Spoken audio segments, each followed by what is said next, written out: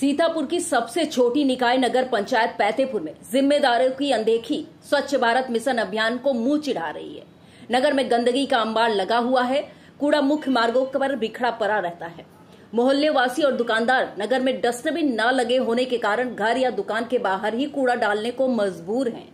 आपको बता दें कि नगर पंचायत पैतेपुर में केवल 11 वार्ड ही हैं, लेकिन वार्ड वासियों के सामने कूड़ा डालने की समस्या है। पिछले करीब एक साल से नगर में डस्टबिन गायब है। डस्टबिन के स्टैंड लोगों को मुँह चिढ़ा रहे हैं। डस्टबिन न होने से यहाँ के लोग और दुकानदार सड़क पर ही कूड़ा फेंक देते हैं। यह कूड़ा नालियों में इकट्ठा हो रहा है, जिससे नालियाँ चौक हो गई हैं।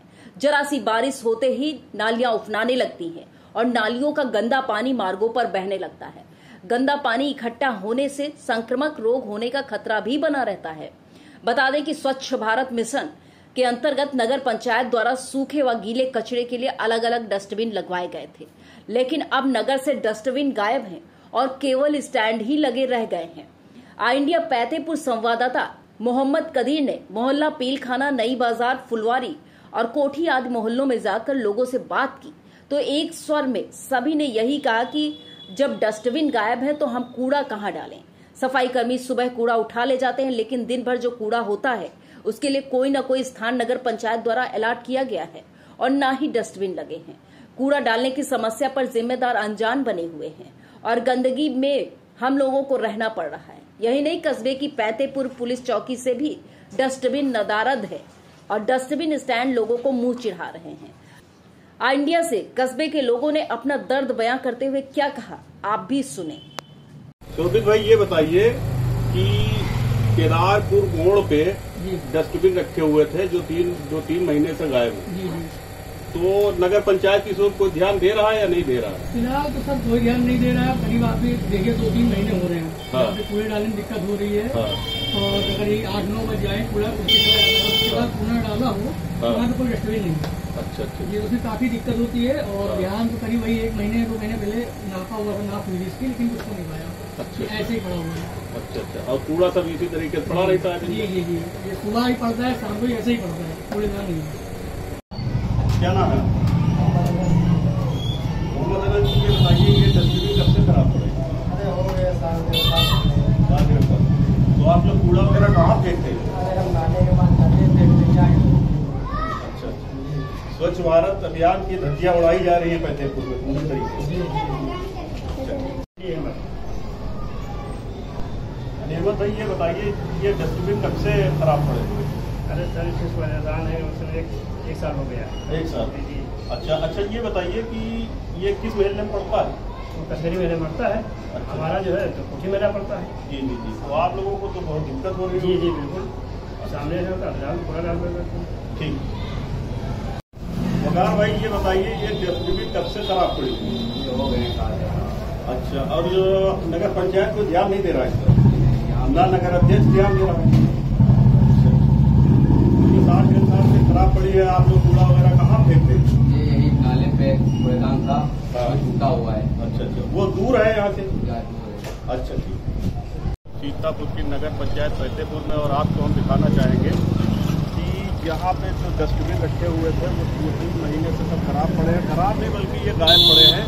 इनका कोई ऐसा पता नहीं है कि कहाँ है। अब यहाँ पे लोग कचरा फेंकते हैं तो रोड पे बिखरता है, इधर उधर पर पड़ा रहता है, लेकिन नगर पंचायत किसी तरीके से कोई ध्यान नहीं दे रहा है, चाहे नगर अध्यक्ष हो, चाहे नगर पंचायत के कोई अधिकारी हो, कोई भी ध्यान नहीं दे रहा है, आप देख सकते हैं ये गायब है।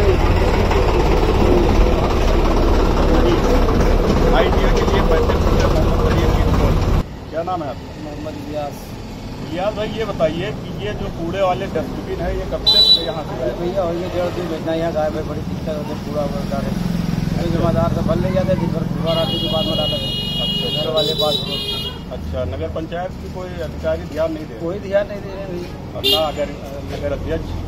नगर अध्यक्ष कहाँ देखें डी एन देता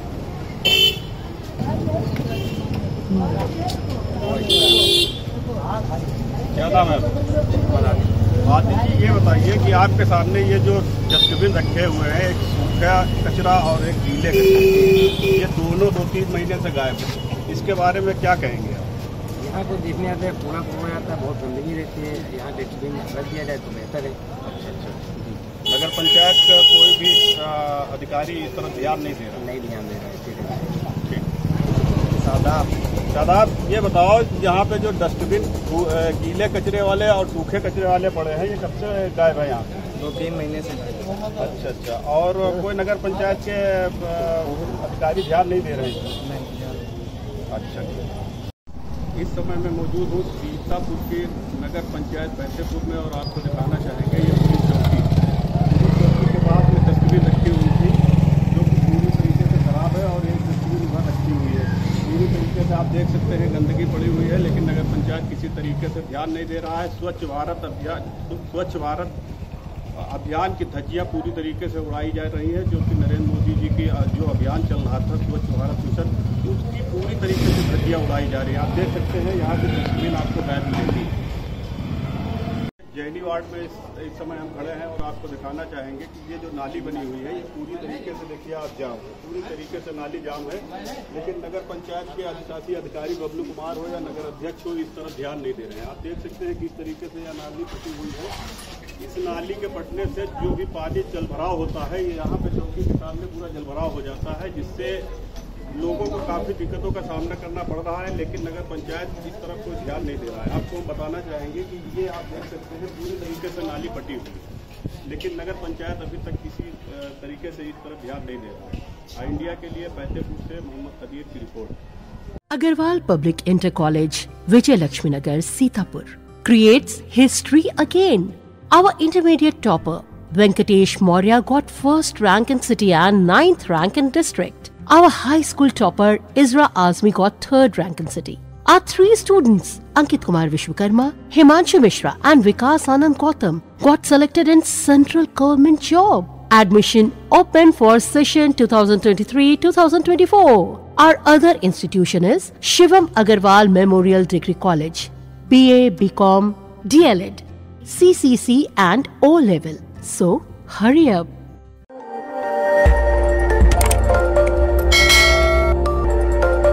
खबर आपकी नज़र हमारी।